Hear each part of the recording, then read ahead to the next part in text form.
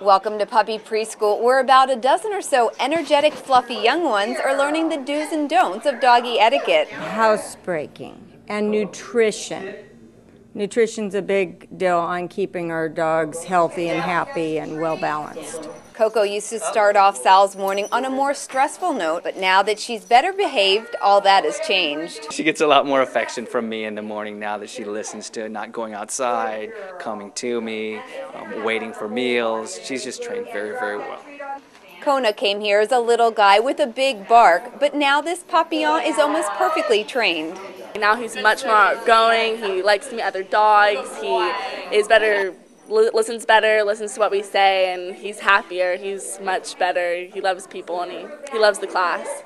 Not only do these dogs learn to be potty trained and better behaved at home, but they also learn to socialize with other dogs that they might meet in public places like the park.